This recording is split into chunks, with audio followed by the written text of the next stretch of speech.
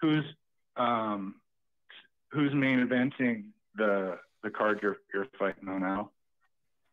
I got it. It's Covington and Usman. Yep. Oh, okay. Yeah, that's another fun one. Um,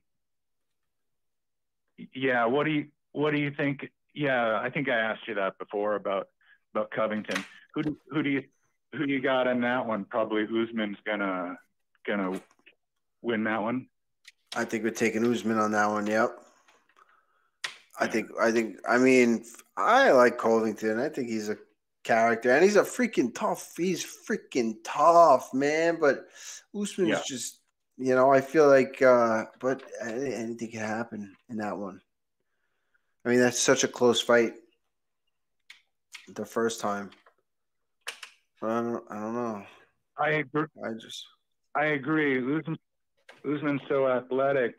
He and he, I think he's probably the best 169 169er than I, I forget if that's welter welterweight um, welterweight fighter ever. Like probably would beat GSP in his prime maybe at this point. But who do you who do you think between those two?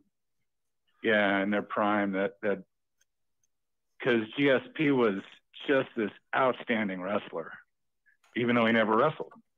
Yeah, his his timing was so good on the takedowns. He would get guys just standing flat and set it up perfectly. Everything was the timing was so good.